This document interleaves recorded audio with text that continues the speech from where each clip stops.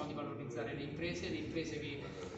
poi vi lasciamo i comunicati ci sono tutti i dati, non vi sto ad annoiare con, il, con troppi numeri, però vi dico solo un riferimento. Dal 2014 al 2019 sull'export perché le nostre piccole imprese con, con, la crisi che è iniziata nel 2008 si sono trovati che l'export purtroppo non, ce l'hanno avuto, non hanno avuto più quel mercato locale e sono dovuti andare a reperire mercato all'estero. Reperendo quel mercato all'estero si sono trovati di fronte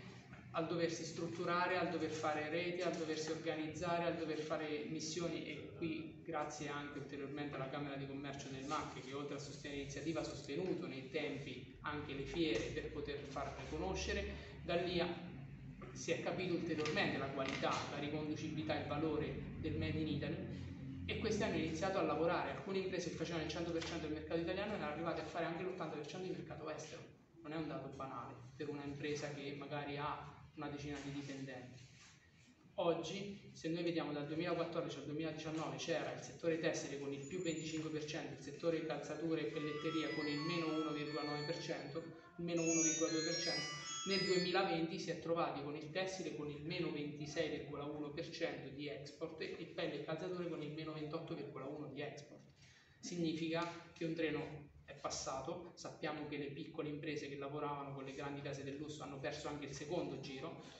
però abbiamo anche degli esempi e quella della sfilata sarà un bel esempio per portarlo, per mostrarlo,